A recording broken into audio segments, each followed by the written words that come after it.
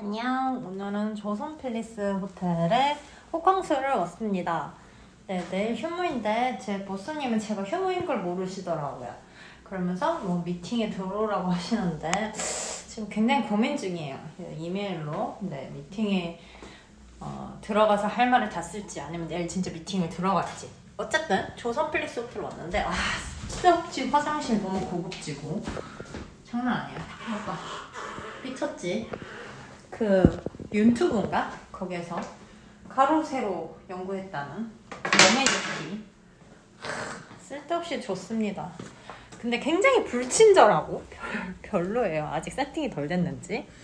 어 그리고 약간 프렌치 감성을 담은 짠 테이블 그리고 뷰가 너무 좋고 음, 안 나와 걱정 마.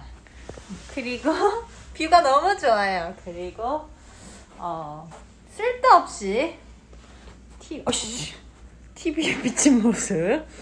음, 웬 시체님이 계셨고. 그리고 불을 켜보겠습니다. 불은 자동이 아니네요. 그러면 여기 비밀 공간에 뭐가 있을까요? 슈퍼 고급진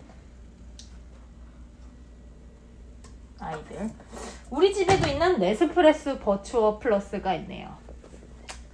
아무튼 그러고 나는 일을 해야 되니까. 네 애플 맥북이 있고. 자 바이레도 amenity를 선물로 줬습니다.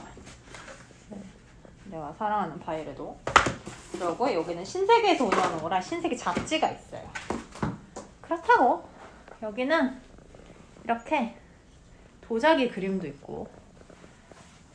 뭐 평수가 16평이라고 했는데 그래 보이진 않습니다. 우리 집보다 더 작아 보여. 아무튼 그렇다고